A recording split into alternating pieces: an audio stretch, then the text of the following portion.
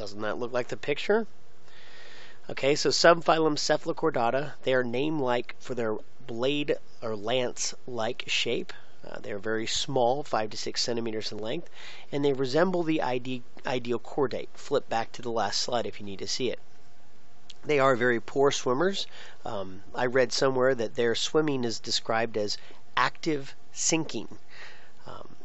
They uh, have these muscle segments, like we saw in the last slide, called chevrons, and they end up being uh, sort of a, uh, a V shape.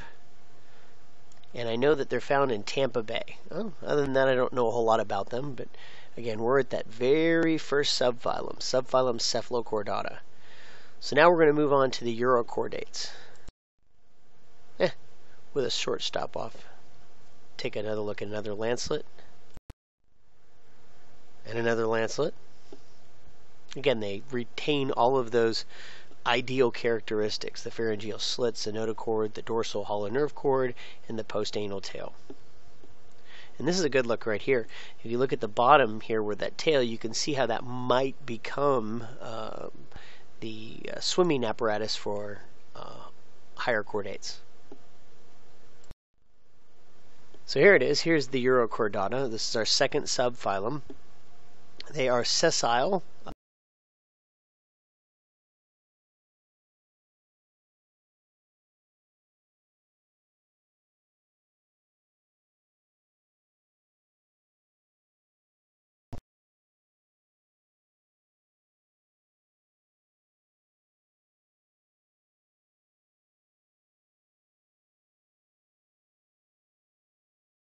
side.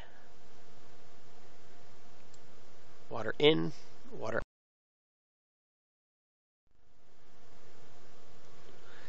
So you can see here in slide A, um, this is their larval stage. Again, it's a short-lived stage. And you see all of those or idealized uh, chordate characteristics. When it matures into an adult,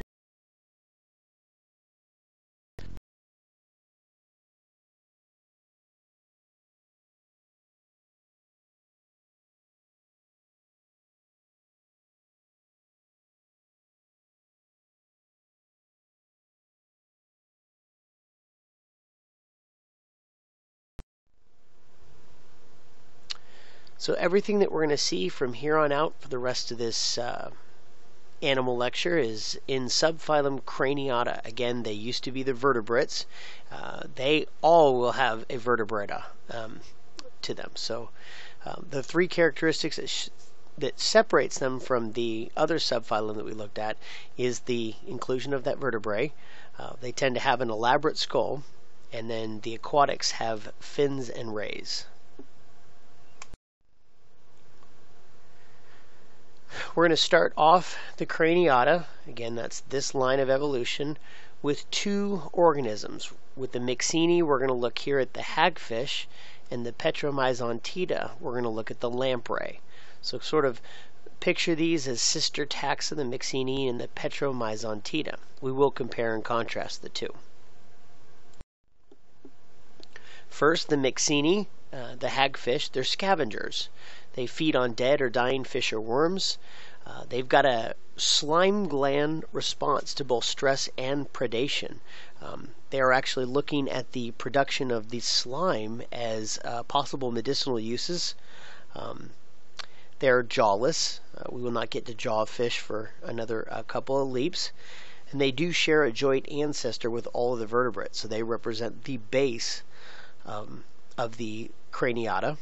And then the only craniate that is a true osmoconformer, which means that they are conforming to the uh, the water that they live in. Here's a good look at a hagfish with the slime glands along the side. They produce a tremendous amount of slime. Again, either in stress or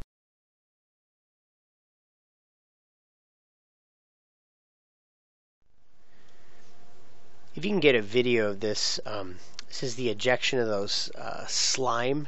Again, it can be used for predation. Um, the medic- medicinal application of it is it comes out very, very quickly, and it's pretty fibrous and it's pretty dense, and you might be able to use it for uh, wound compression. Uh, so it's a it's pretty neat. Again, if you can find a video of it, it's pretty awesome. These scavengers are also very important. Um,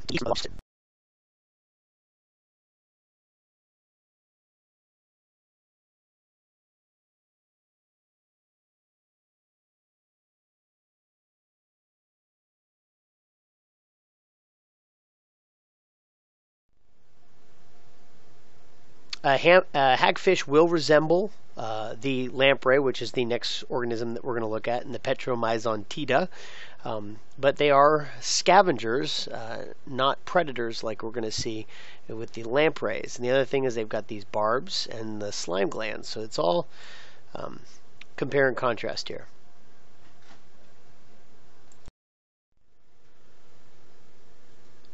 So here is the second uh, of that sister taxa that we'll look at in our first separation of the craniates.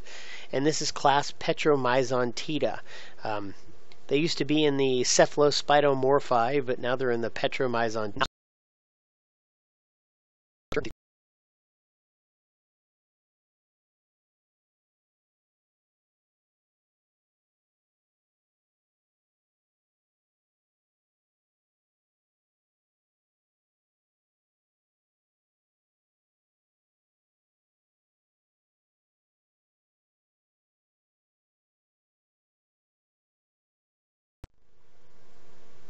There's that mouth, again, pretty complex structure.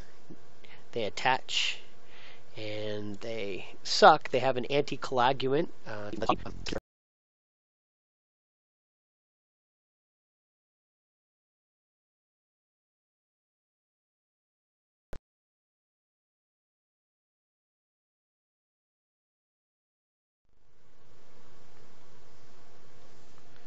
this one does.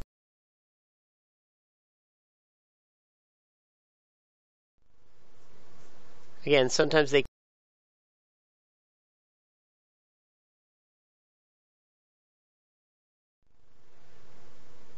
Uh, this was straight out of science fiction, right?